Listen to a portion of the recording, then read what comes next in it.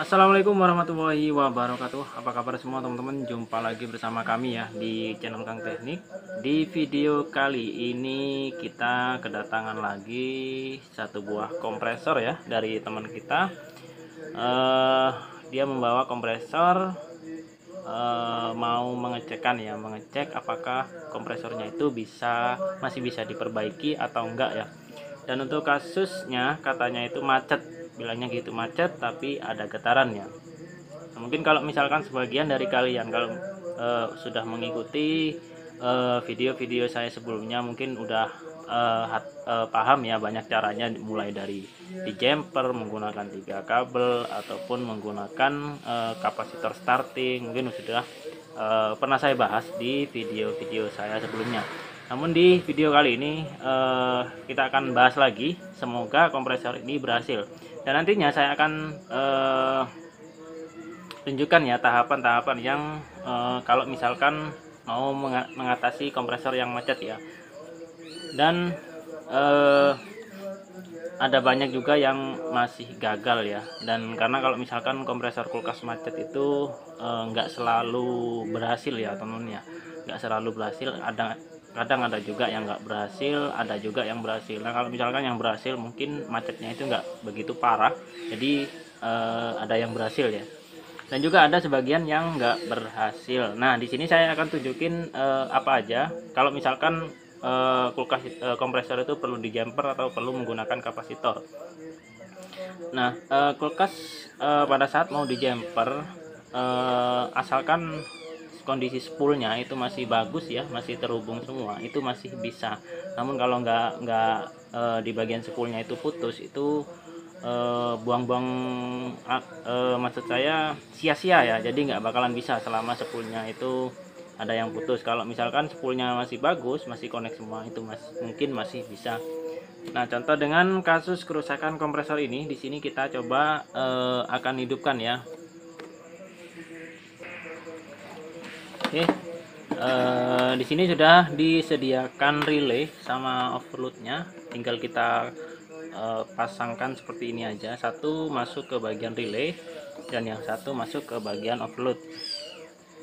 Eh, untuk pemasangannya itu sama sama sama semua ya, cuman kalian tinggal paskan posisi eh, kakinya itu eh, di bagian mana aja ya.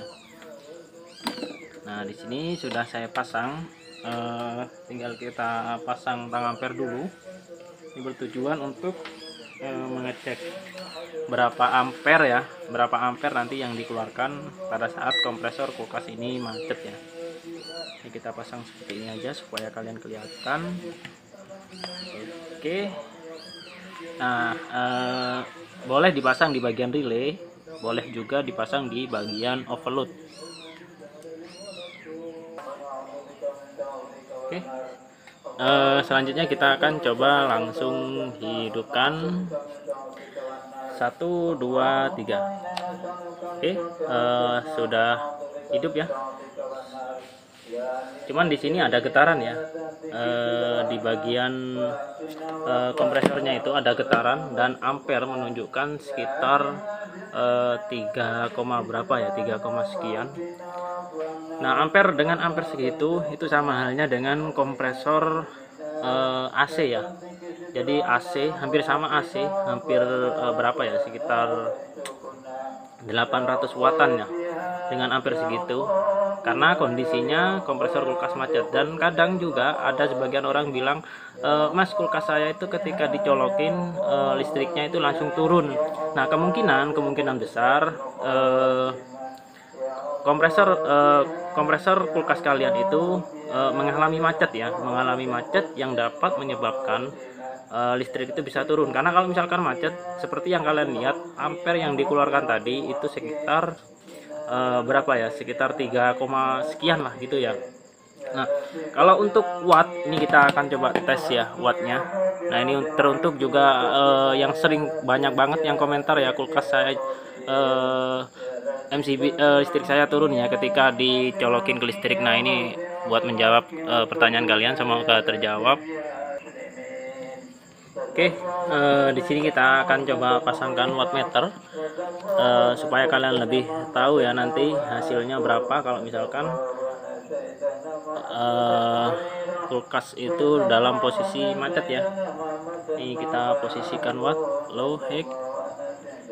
Nah, di sini ini posisi wattnya. Dan kita akan coba tes, kita akan coba tes, kita coba langsung hidupkan ya. Ada berapa watt ya ketika dihidupkan. Nah kalau mungkin kalau misalkan posisi ampere mungkin sebagian orang sudah uh, awam ya. Namun kalau misalkan watt pasti sudah mengerti ya. Nah ini kita coba tes. 1 2 3 kita colok.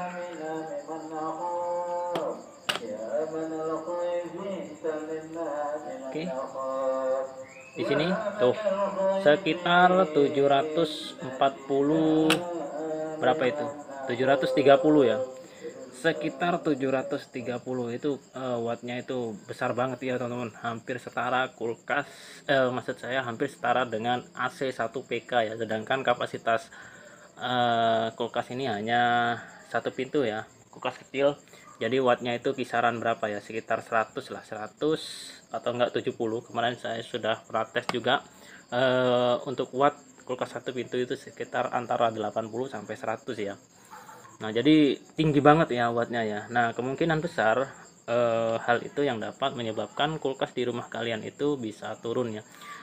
Nah, kalau misalkan seperti itu, apa yang harus dilakukan? Kalian bisa cek nih di bagian relaynya, e, pastikan di dalam di dalam relay, di dalam relaynya itu tidak ada yang pecah ya untuk di bagian bimetalnya ataupun di bagian lempengannya itu pastikan eh, nggak ada yang pecah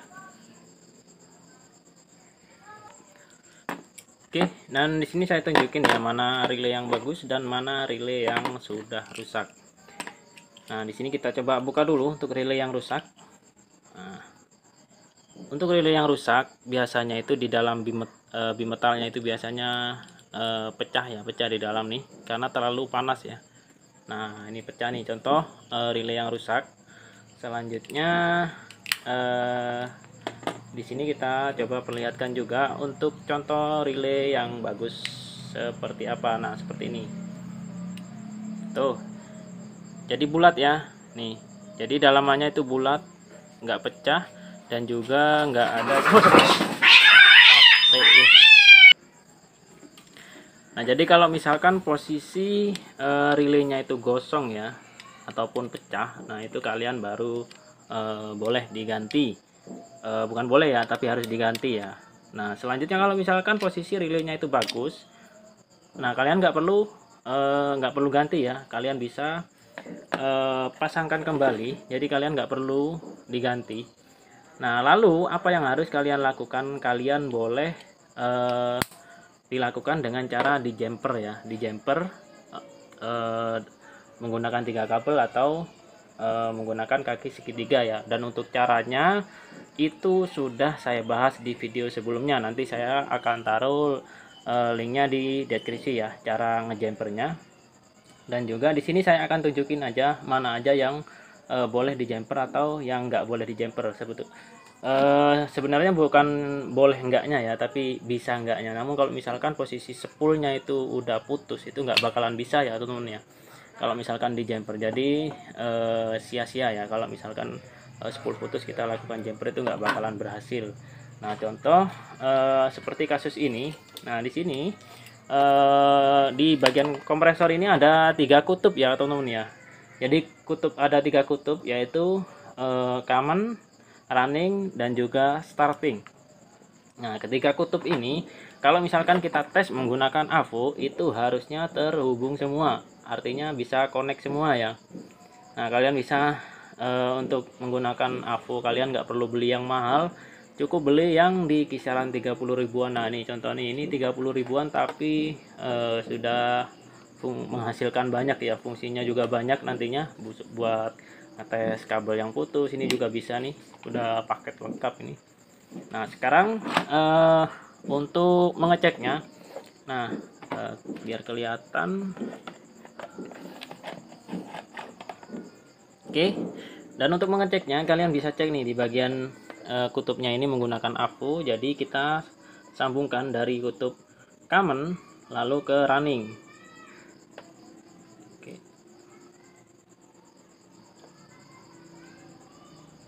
Nah, di sini untuk common ke running itu keluar nilainya ya. Keluar nilainya. Selanjutnya dari kutub common ke starting. Ini harusnya keluar nilainya ya. Namun di sini karena e, sepulnya itu mengalami putus, di sini nggak bisa connect ya. Nah, ini. Di sini nggak bisa connect dari jadi dari common ke starting itu nggak bisa connect terus kita coba starting ke running itu juga nggak bisa connect. Kemungkinan ada jalur sepul yang di bagian starting itu mengalami putus. Kalau misalkan e, posisi seperti ini kita jumper itu nggak bakalan berhasil ya teman-teman ya.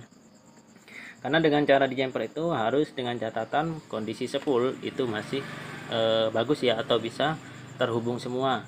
Nah kalau misalkan e, ada yang putus seperti ini kalian bisa buka ya kalian bisa bongkar atau kalian bisa cari uh, di mana letak uh, putusnya sepul itu ya. Atau kalian kalian kalau nggak mau ribet bisa ganti kompresor kalian. Nah uh, oke okay, uh, mungkin itu saja penjelasan dari saya. Semoga bermanfaat ya. Mungkin di lain waktu uh, kalau ada kesempatan nanti ya nanti saya akan bakalan bongkar uh, kompresor ini dan saya akan perlihatkan uh, sepulnya itu putusnya di bagian mana. Semoga nanti berhasil ya.